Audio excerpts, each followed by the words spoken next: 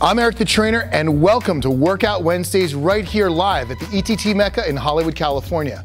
To build a big upper chest, you have to really focus on the barbell press that goes right at your neck. This device right here will give you that seamless transition between pectoral and shoulder so it comes straight across like the panel of an automobile. So we want you to get into the position, elbows out to the side, false grip, come straight down with the elbows back, touch on the very base of the neck and drive straight up only halfway. We call this a jet rep.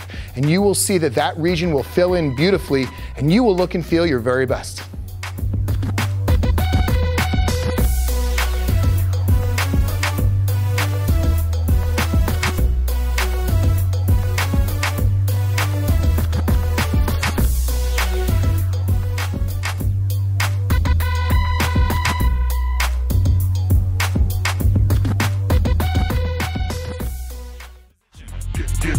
Get get get ready, get get ready, get get get ready, get get ready, get get get ready, get get ready, get get